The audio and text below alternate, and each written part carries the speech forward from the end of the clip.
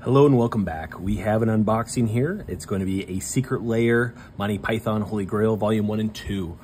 Um, I guess I kind of got a little lucky on this one. I had a lunch break that was right as this came online, and so I was lucky enough that I just spent my lunch break queuing in for an hour, which not thrilled about, but you know what?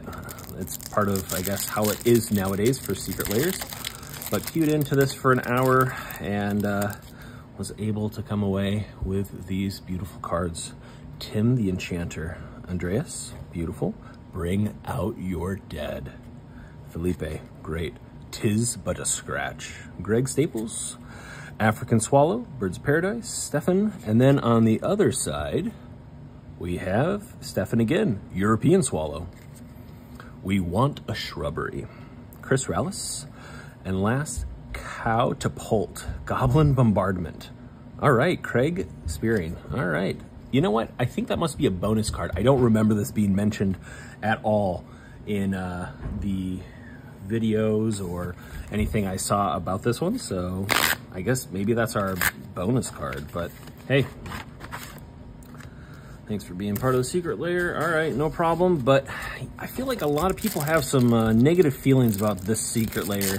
This one definitely got a little away from Wizards of the Coast, if I am to give them my two cents, which they probably don't care about, but it is what it is. Uh, Bridge of Death, Sam Hogue. Sir Belvedere Scales, Dimitri. Castle of Ah. Craig, anything on backside? No. The Beast, the Black Beast of Ah. Simon. And then last, Killer Rabbit. Oh my gosh, that's what I wanted to see. Bill McConkey. I love that. That is fantastic. That is probably my favorite car out of the set. That's so cool. But anyways, that is our whole unboxing. Nice and short. Thank you so much. You have a wonderful day. Take care. Bye-bye.